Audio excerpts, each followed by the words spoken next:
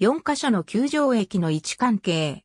中央線球場駅と阪神南波線球場駅は、ほぼ同じ場所に所在し、乗り換え駅となっている。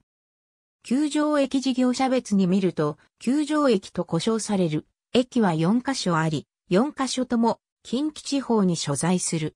これら4カ所の球場駅すべてに近畿日本鉄道の車両が乗り入れる。例えば、大和西大維持駅から中央線の球場駅へは、近鉄奈良線生駒駅での近鉄京阪那線への1回乗り換えで、その他の球場駅へは乗り換えなしでたどり着ける。近鉄奈良線系統の近鉄車内の扉上に設置されている停車駅案内図には4カ所の球場駅が掲載されている。また連絡乗車券や連絡定期券が発行可能な範囲にあるため9条から9条、9条から9条、9条から9条の乗車券、定期券が発行可能である。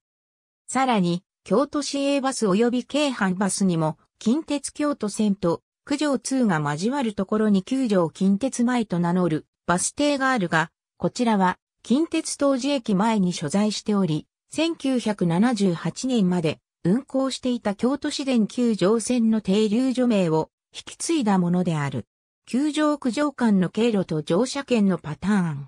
左側が近鉄球場駅から各球場駅への乗車券。右側が各球場駅から近鉄球場駅への乗車券である。このページは曖昧さ回避のためのページです。一つの語句が複数の意味、職能を有する場合の水先案内のために異なる用法を一覧にしてあります。お探しの用語に一番近い記事を選んでください。